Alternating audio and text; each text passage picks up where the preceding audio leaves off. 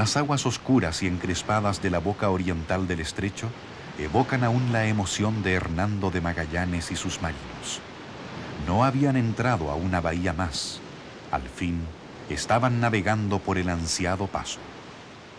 Pero tanto para aquella primera expedición como para los que le sucedieron, el paso frente a esta punta Dúngenes significaba el inicio de una travesía que con frecuencia terminaba en el fracaso o la tragedia.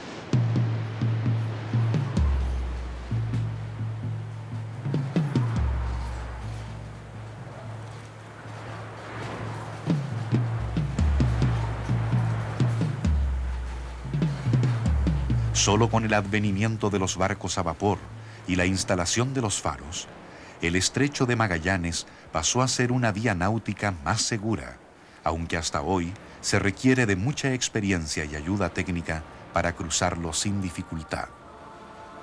La historia del estrecho es un largo recuento de hazañas, penurias y sacrificios anónimos.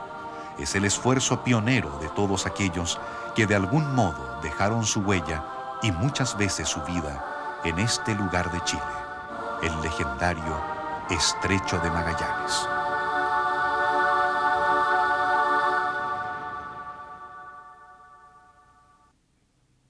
A los 53 grados y 30 minutos de latitud sur comienza en Punta Dúngenes, en el Océano Atlántico, el Estrecho de Magallanes. Punta Arenas se asienta en las riberas de este gran canal de 560 kilómetros de longitud y tortuoso trazado que nos llevará hasta el Cabo Pilar en el Océano Pacífico.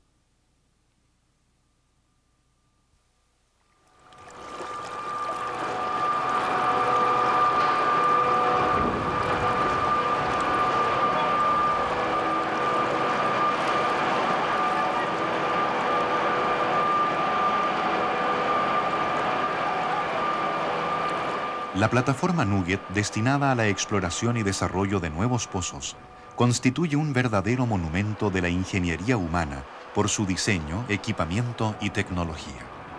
Una proeza técnica que logra perforar hasta un alcance de 9.000 metros.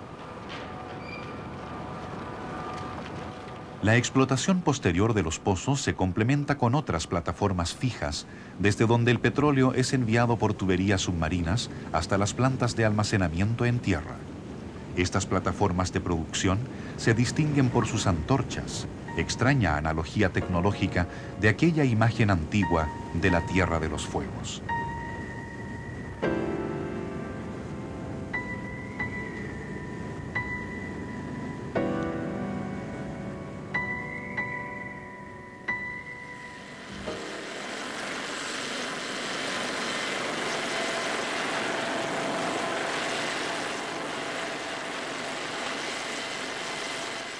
Este es el paisaje petrolero del estrecho en el sector de posesión, donde se concentran las instalaciones del proyecto Costa Afuera de la ENAP. Torres y plataformas parecen en la distancia extrañas criaturas metálicas que emergen desde las profundidades. Han quedado atrás los siglos de soledades y silencios que veían pasar frágiles y precarias embarcaciones. Lingue, lingue delgada, ¿cambió? Gara, lingue. 1-4. 1-4. Lingue delgada, buenos días señor. Eh, de parte de Yagana, de parte de Yagana, que se quede en caleta municiones, que se quede en caleta municiones en espera de buen tiempo. QSL, ¿cambió? Ya, ok. Eh, está hablando aquí el piloto, el capitán no entendía el mensaje. Entiendo que debemos dirigirnos a Caleta Munición y quedarnos fondeados en espera buen tiempo, ¿cambia? Eso es correcto, señor. Eso es correcto, cambio. Ok, muy agradecido. Eh, nosotros mantendremos La navegación por el estrecho sigue siendo riesgosa y difícil. Requiere experiencia y apoyo técnico para enfrentar los desafíos del clima y la caprichosa hidrografía.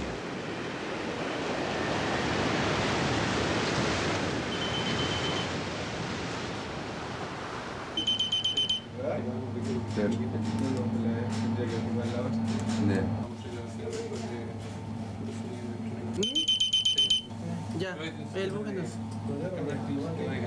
Mira la cuadra de Tritón. La infraestructura humana y electrónica gana día a día una larga lucha en este territorio de aguas rebeldes y vientos impredecibles. Radares, balizas, faros y estaciones de radio son parte de un sistema que protege a la navegación en todo su extenso trayecto, especialmente donde la presencia de plataformas en medio del canal obliga a un estricto y preciso control en prevención de accidentes o emergencias.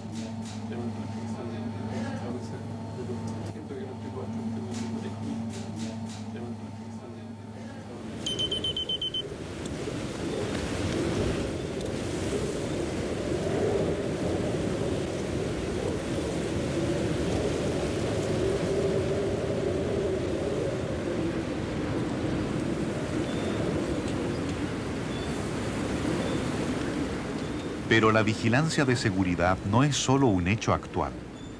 Este faro de Punta Delgada fue construido en 1891 y desde entonces ha sido una luz amiga para quienes deben cruzar la primera angostura del estrecho.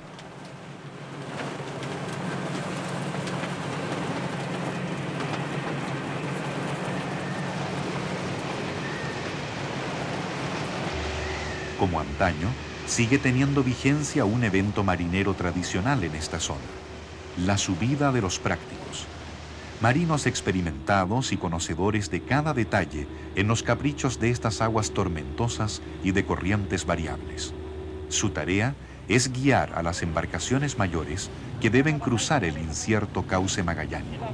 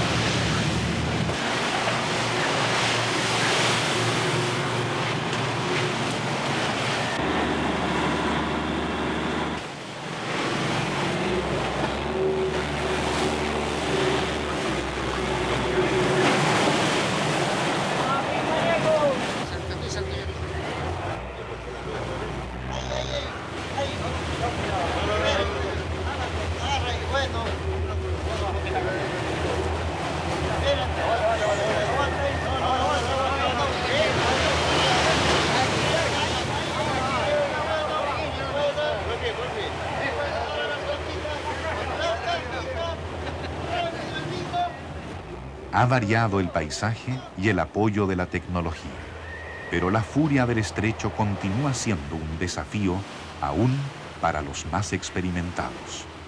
No es difícil imaginar los desastrosos efectos de las tormentas sobre los antiguos barcos a vela que se aventuraban en el estrecho. Y permite valorar hoy la proeza de aquellos precursores en la navegación. De alguna manera, los marinos actuales siguen manteniendo la tradición de esfuerzo y coraje que iniciaran Magallanes y sus hombres hace ya más de cuatro siglos y medio. Hubo otras épocas y otros hombres que tejieron aquí su historia. En la ribera de San Gregorio no había estanques de acero. Estaban las tiendas de los tehuelches, los ancestrales dueños de estas tierras.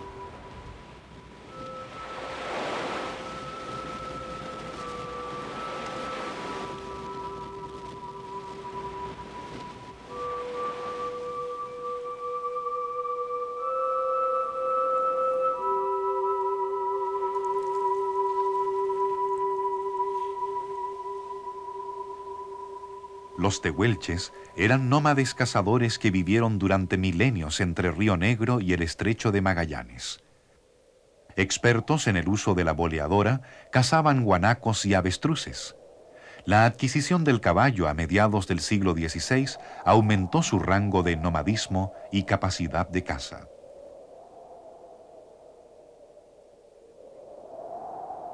Su porte atlético y elevada estatura hicieron que los antiguos navegantes llegaran a describirlos como míticos gigantes, aunque su estatura promedio no sobrepasaba el metro ochenta en los hombres y un metro setenta y cinco en las mujeres. Los tehuelches se llamaban a sí mismos Aoniquén, gente del sur. Sin embargo, la tierra sureña que los viera nacer en épocas remotas también sería testigo de su definitiva extinción. En 1905, los legendarios tehuelches ya habían desaparecido de Magallanes.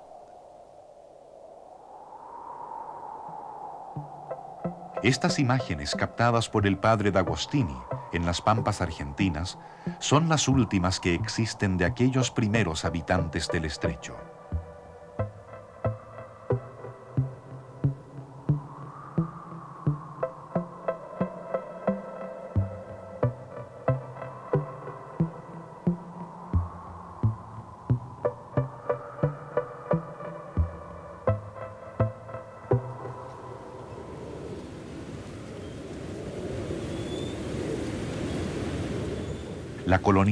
Quedó atrás y una gran ciudad se asienta hoy en la ribera del estrecho.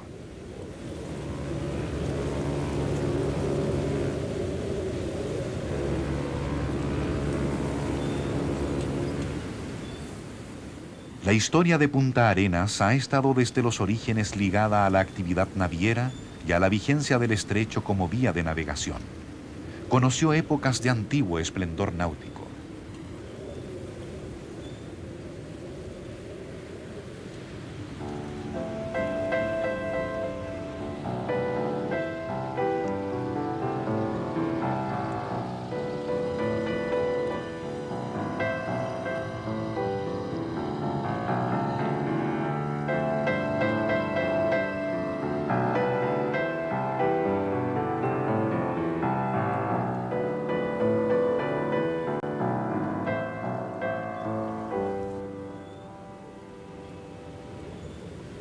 Como si quisiera revivir por un instante aquel pasado, el Queen Elizabeth II, uno de los mayores transatlánticos del mundo, cruza por primera vez el estrecho de Magallanes.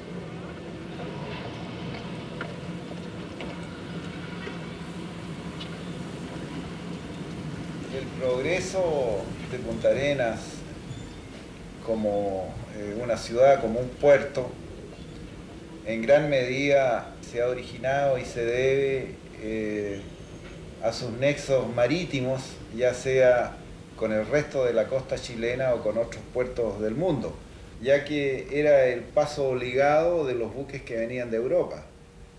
Eh, las líneas comerciales como la compañía inglesa de vapores, la compañía francesa transatlántica o la compañía alemana Cosmos hacían recalar sus naves en cada viaje tanto de ida como de retorno a las costas eh, sudamericanas del Pacífico.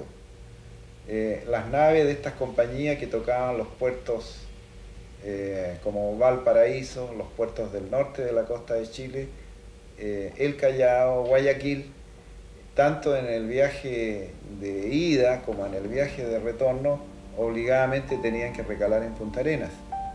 Existen fotografías del puerto, de la bahía de Punta Arenas, de fines del siglo pasado, de principios, los primeros años de este siglo, en que en la bahía de Punta Arenas había fondeado 40 o 50 veleros o buques de propulsión mixta.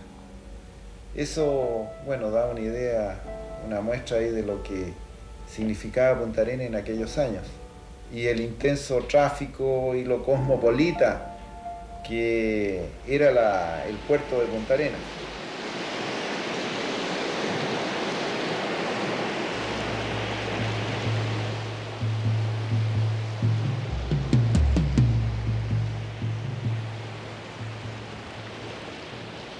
Pero el surgimiento de Punta Arenas y la colonización del estrecho tiene episodios muy trágicos y poco conocidos. A 60 kilómetros de Punta Arenas, en 1584, 300 españoles al mando de Sarmiento de Gamboa fundaron la población Rey Don Felipe, tristemente recordada como Puerto del Hambre. Fue el primer intento de toma de posesión y colonización del estrecho. Abandonados a su suerte y enfrentados a una naturaleza hostil que no conocían, uno a uno murieron de hambre, frío, enfermedades y luchas internas.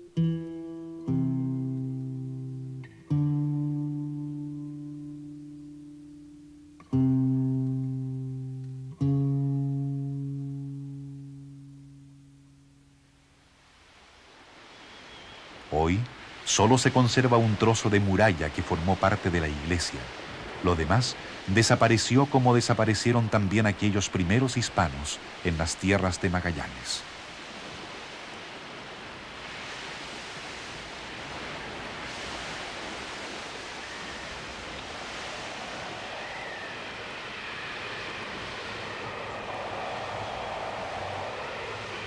Pero este no fue el único episodio.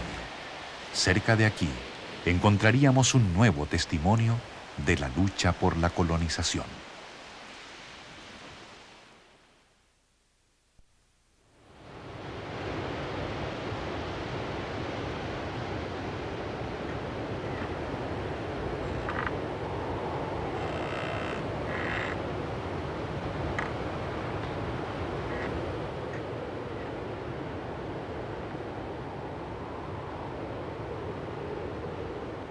Junto a Puerto del Hambre y a solo dos kilómetros de distancia, ocurrió otro episodio fundamental.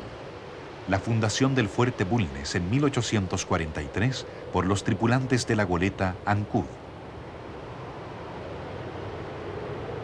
Cinco años más tarde, la necesidad de buscar un sitio más definitivo y mejores condiciones impulsó a sus ocupantes a trasladarse 60 kilómetros más al norte, dando origen a la actual Punta Arenas.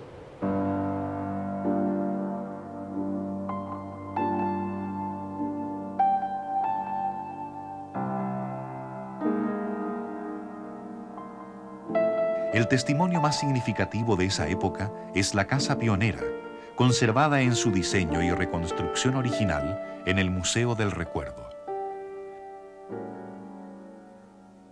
La cocina comedor era el centro de la actividad hogareña. Junto a su calor familiar, transcurrió gran parte de la vida pionera en la fría tierra austral.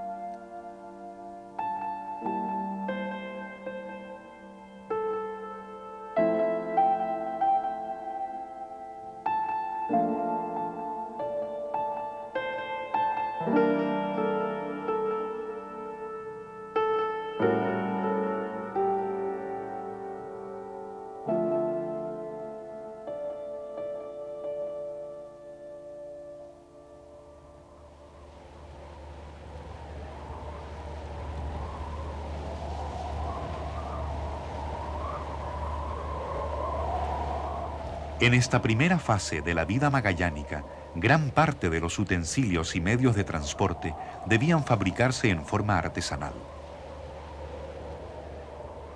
Recién a fines del siglo pasado, cuando se consolida el crecimiento económico e industrial, comienza la implantación de la maquinaria de vapor, que se extiende a una amplia gama de aplicaciones, tanto para el transporte como para la producción de carne, lana y madera.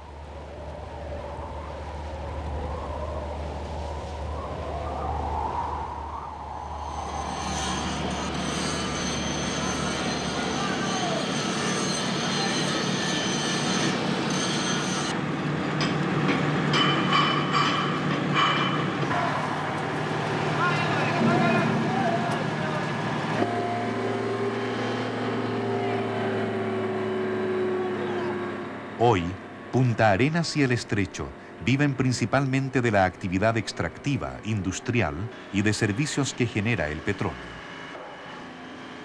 Un ejemplo es la gran maestranza industrial de Bahía Laredo, próxima a Punta Arenas. Aquí se construyen las enormes torres de producción del proyecto Costa Afuera de la Empresa Nacional del Petróleo.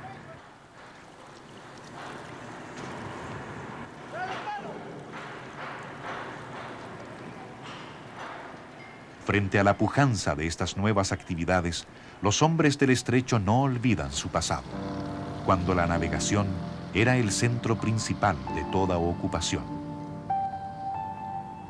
En cuanto eh, a la navegación por eh, los mares eh, australes, podemos especificar de que eran dos las rutas fundamentales. La primera de ellas era la ruta a través del Cabo de Hornos. Esta ruta se mantuvo hasta la época en que surgió la navegación a vapor o la navegación mecánica durante los primeros decenios del siglo XIX. Ahora, en cuanto a la navegación por el estrecho de Magallanes, aun cuando los buques que surcaron el estrecho eran buques con propulsión mecánica eh, o propulsión mixta, porque la vela prácticamente se siguió usando aun cuando estos buques eran propulsados por ruedas motores.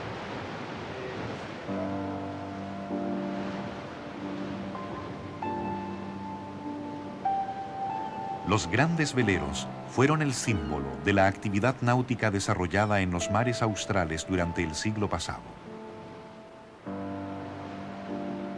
Enfrentados al creciente auge del vapor, dejaron las travesías transatlánticas y fueron incorporados a la flota que operaba en el estrecho. De aquellos viejos barcos aún queda un representante, el County of Peebles, que cumple la función de rompeolas en el dique de Asmar bajo el nombre adoptivo de Pontón Muñoz Gamero. Puesto en servicio hace más de 110 años en Escocia, navegó por los mares del lejano oriente transportando té entre Inglaterra y sus colonias hasta casi fines de siglo. Se destacó como uno de los veleros más hermosos, grandes y avanzados de su época.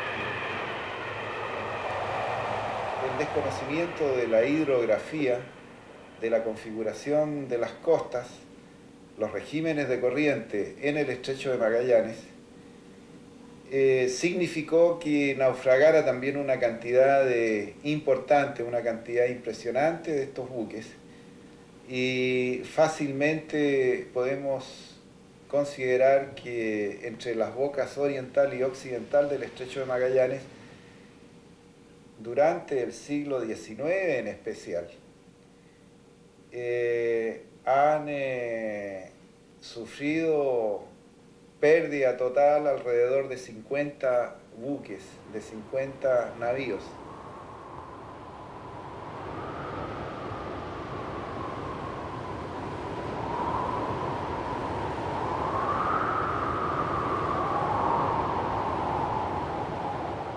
En las primeras épocas, el viento fue el enemigo principal que hundió o desmanteló a muchos veleros. Con el advenimiento del vapor y el aumento del calado, los accidentes tuvieron otras causas. El peligro estaba en las rocas ocultas o bajos desconocidos.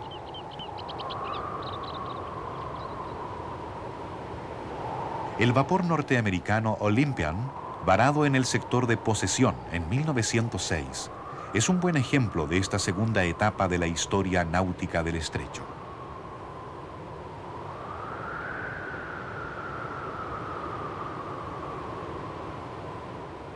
Personalmente he tenido la oportunidad de reencontrar estos naufragios en una cantidad de unos seis buques.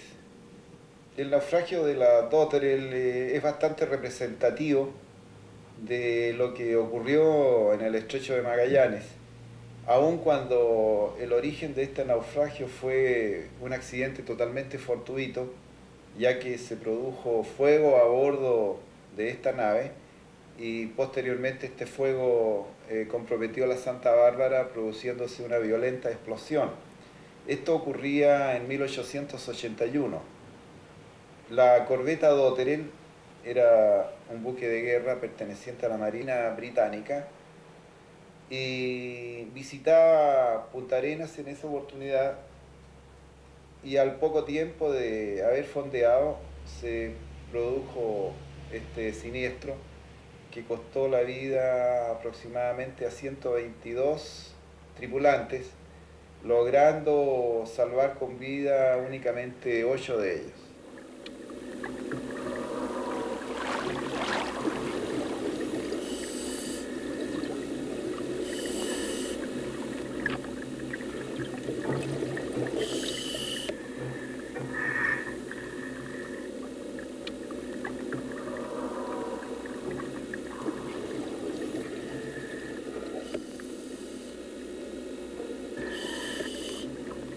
Francisco Ayarza, experimentado buzo y gran conocedor de la historia náutica del estrecho, ha logrado ubicar y filmar los restos de la corbeta Doterel. Son las primeras imágenes que se tienen de este buque después de su terrible accidente. Han pasado más de 100 años desde entonces. El lodo y las algas han cubierto completamente los restos que yacen a 15 metros de profundidad no es fácil reconocer las partes que aún subsisten de la Doterel, ya que la fuerza de la explosión fue tan grande que rompió o deformó la mayor parte de las estructuras. Lo que mejor se ha conservado es la sección central, donde aún se mantiene parte del maderamen, y sobre todo un forro de cobre que cubría la zona inferior del casco.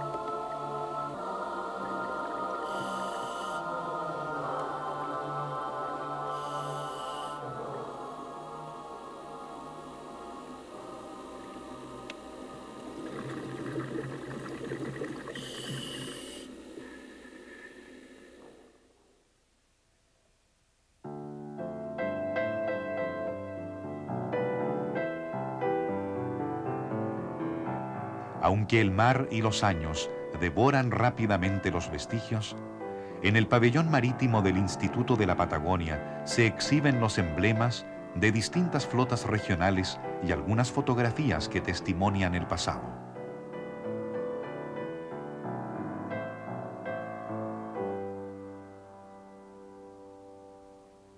Un rincón especial guarda el vapor Amadeo, reliquia y símbolo de un período importante del Estrecho y Punta Arenas. El Amadeo integraba la flota del comerciante José Menéndez y en 1882 fue el primer vapor que llegó a Punta Arenas.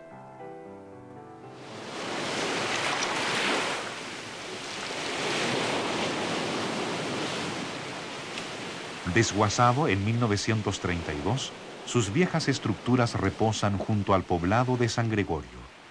La corrosión marina ha destruido gran parte del casco, pero visto por su banda de babor, protegida del oleaje, parece estar intacto. En pocos años más, el mar habrá terminado de sepultar definitivamente al Amadeo. Un pobre destino para este viejo vapor que durante 40 años fue importante protagonista del transporte naviero en el estrecho.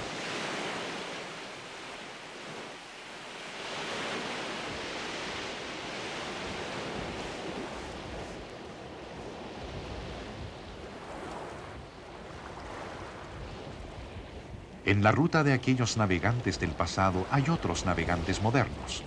La pesca, y especialmente la captura de centolla, es la actividad más importante en el sector occidental del estrecho y los canales fueguinos. Punta Carrera es la principal caleta de pescadores artesanales. Eh, los días normales de trabajo son todos los días días. No hay festivo, no hay nada. Aquí el pescador viene hoy uno, al rato viene otro, así se va, vuelve, viene y se va. Es igual que una colmena aquí, aquí no para el trabajo. El uno se va, vienen dos, tres, se van esos, vienen otros, o sea que ahí anda. Todos los días de Dios aquí hay recursos. Pero no va a decir que el pescador tiene un límite que trabajó y se quedó ahí, no. A lo mucho puede hacer sus trámites, a comprar las a Punta Arena, el combustible, arregló un poco su situación y partió para afuera. Es, un rodaje. Aquí no descansa nadie, ni el día de trabajo. Resulta que uno se levanta a las 4 de la mañana, apenas alcanza a tomar café y pescó el bote porque el otro se fue. Entonces hay que seguir. Y sin comer pasa esa hora hasta las 6, las 7 de la tarde. Afuera, porque uno se va a radicar afuera, no acá.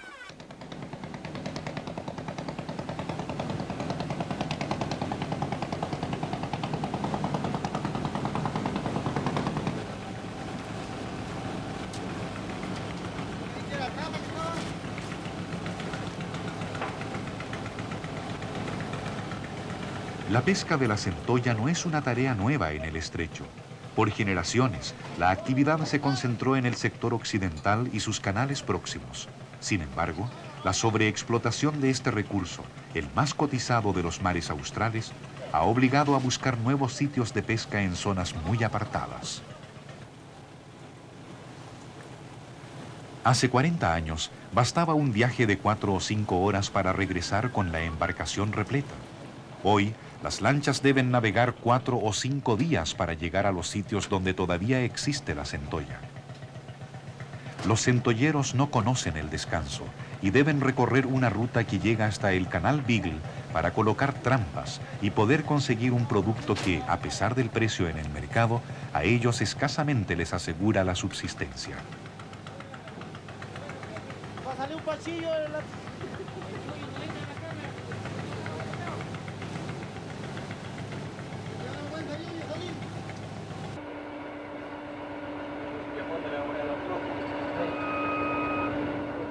Es un trayecto largo y difícil, pero el conocimiento que tienen de la zona les permite navegar día y noche por la trama de canales en un mar impredecible y cambiante como los vientos. Naufragar en estas frías aguas significa una muerte casi segura. Es el comienzo de una aventura y también de muchos días de trabajo.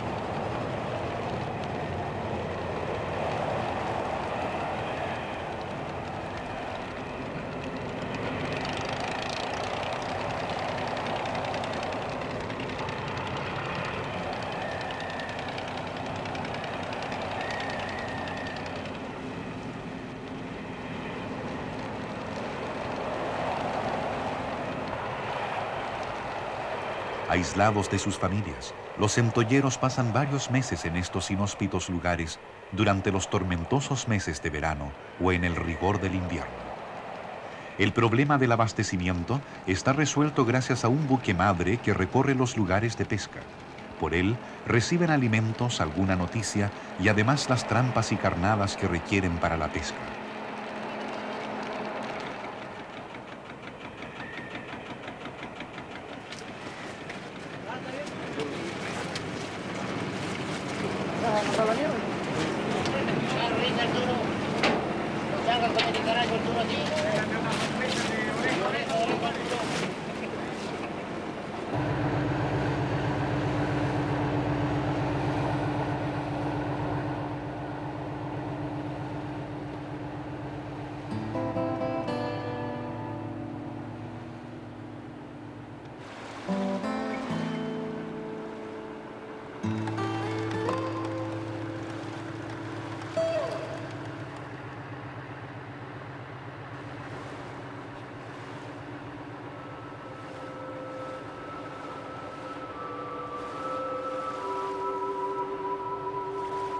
Estos canales fueron el territorio de otros pescadores y cazadores del mar que hoy ya no están, los yaganes. De ellos solo quedaron los nombres que usaron para denominar los cerros, bahías y canales, como Ushuaia, bahía de los grandes cerros, Onashaga, canal de los Onas, y tantos otros que aún hoy se utilizan.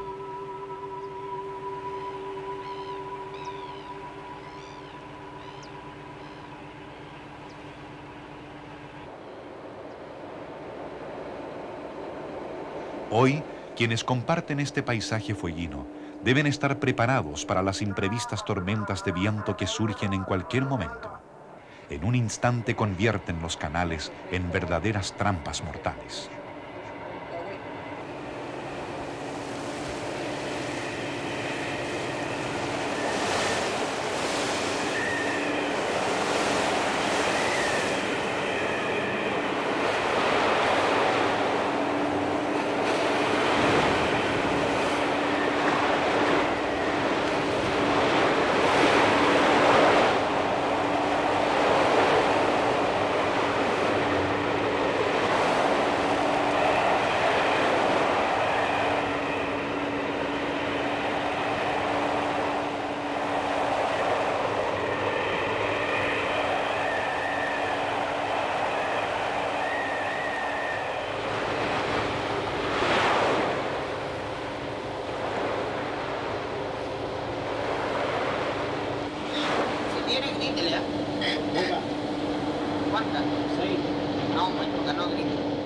Contingencias climáticas no parecen alterar la rutina de los hombres ya curtidos en el rigor de estas aguas.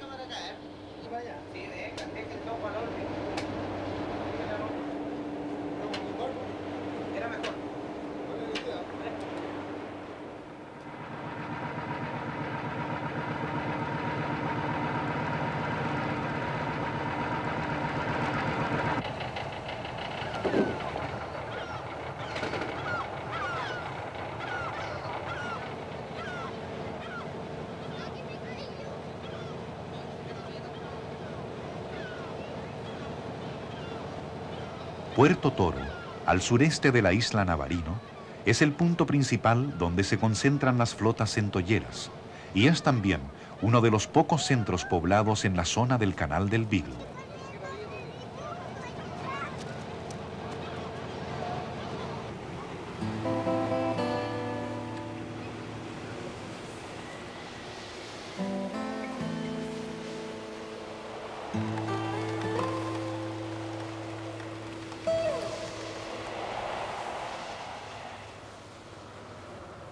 Temprano deben salir las lanchas a realizar sus faenas. El alto precio de la centolla y el evidente agotamiento que hoy experimenta como recurso obliga a los pescadores a ir cada vez más lejos y a intensificar las jornadas de trabajo para obtenerla. Además, no se trata de una tarea de captura corriente. ¿Cómo se hace para pescar la centolla? ¿Sí? Bueno, se trabaja con trampas como la que se ve ahí. Entonces en cada... De una trampa a la otra son 15 metros de caluma, de una trampa a otra. Así que en 10, en 10 juegos son como 100 metros. Se larga carnada adentro de la trampa, se deja un día o dos días. A los dos días se va a levantar.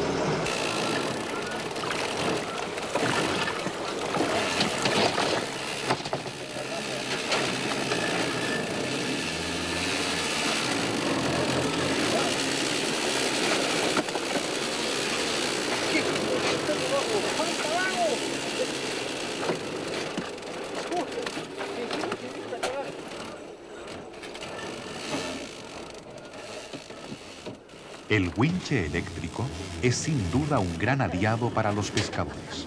Ayuda a levantar líneas de 10 o 15 trampas cuyo peso se haría imposible aún para los hombres más fuertes. Este proceso, que acelera el trabajo y ahorra esfuerzos, es parte del cambio que ha experimentado la actividad centollera. La pesca artesanal, con su extracción más rudimentaria, conseguía volúmenes mucho menores. La industrialización, que aumenta considerablemente la captura de la centolla, ha contribuido también a acelerar su agotamiento como recurso. Mientras más centollas se saquen, mayor será la ganancia. Existe un estímulo de porcentaje por unidad extraída.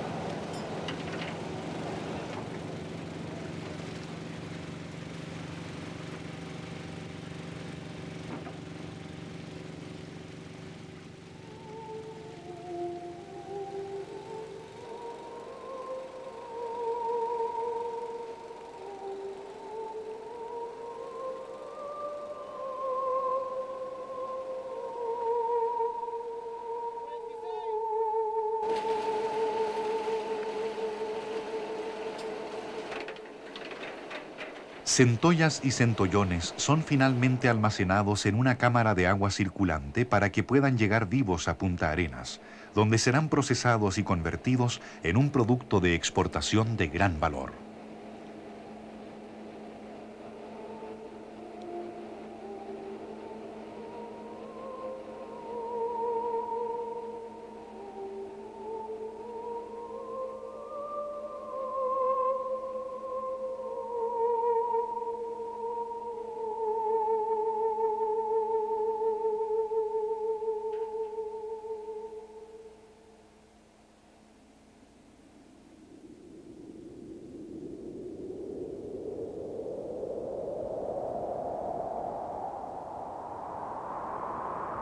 Lejanos están ya los tiempos de aquellos hombres que llegaron a descubrir y explorar este confín del mundo, echando las bases para la actual colonización.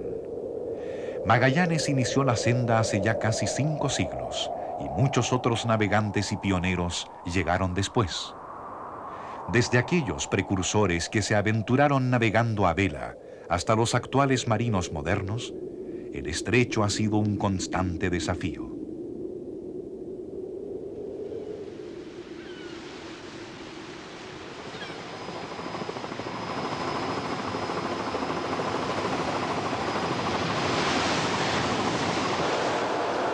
Recorrer estas aguas es comprobar la tenacidad de la lucha del hombre por conseguir asentarse en sus riberas. Hoy lo ha logrado con éxito y su presencia ya es notoria en el paisaje oriental y del centro. Sin embargo, existe un vasto territorio que aún sigue deshabitado y salvaje, en la parte occidental, donde el estrecho enfila hacia el Pacífico.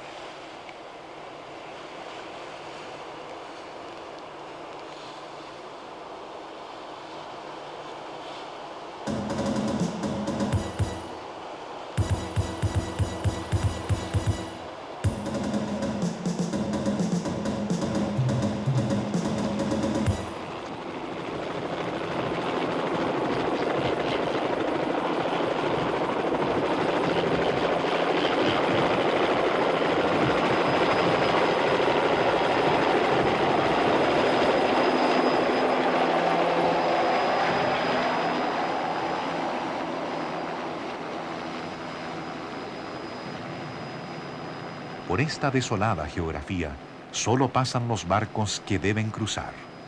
Nadie se detiene en ella, no hay motivo. Pero algunos solitarios guardianes de la entrada occidental del estrecho sí tienen un importante motivo para estar allí. Son los marinos que atienden los tres faros, Fairway, Félix y Evangelistas, vigías de la soledad austral. Su condición es precaria y desolada para la vida humana, pero allí están los hombres destinados a cumplir en ellos su función trascendental. El buque pasó a las 2.20 de la mañana por aquí, en la madrugada, y dos horas después llamó nuevamente de que estaba varado. Entonces el oficial que estaba de guardia aquí, inmediatamente hay un plan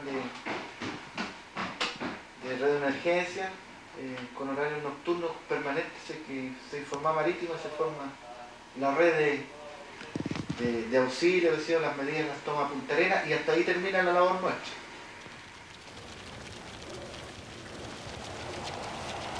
Los fareros son hombres formados en el rigor. Han debido curtir su espíritu para soportar la soledad y el encierro a que obliga la vida en estos apartados lugares. Su único nexo directo con el resto del mundo es la radio y alguna atrasada carta con noticias familiares. En estas condiciones y en ciertos momentos, la nostalgia ataca con fuerza. Sí, o sea, eh, todo faro en, determinado momento, especialmente para esta fecha en que eh, se acerca la Pascua, ¿cierto? Año Nuevo. Entonces, eh, normalmente la hora difícil es entre las... Acá oscurece muy tarde, ahora está oscureciendo tipo 23 horas.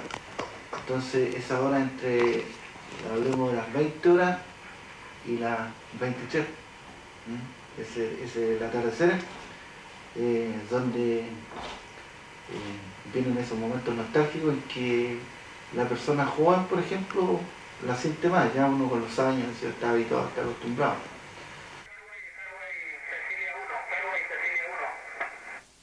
Atento Cecilia 1, Fairway, lo escucho fuerte y claro, adelante. Buenos días, Fairway, Cecilia 1, zona de pesca en Canal Madre. Cabo Pilar es el hito geográfico que marca la salida del estrecho o la entrada, según sea el sentido del viaje. Para los antiguos navegantes, que generalmente entraban por el Atlántico, era el final de una navegación llena de penurias y azares. La lluvia y la bruma cubren siempre el Cabo Pilar, el mismo velo, inmutable y solemne, que ha cubierto la historia de tantos hombres que pasaron por estas aguas buscando fama, riqueza o un nuevo destino.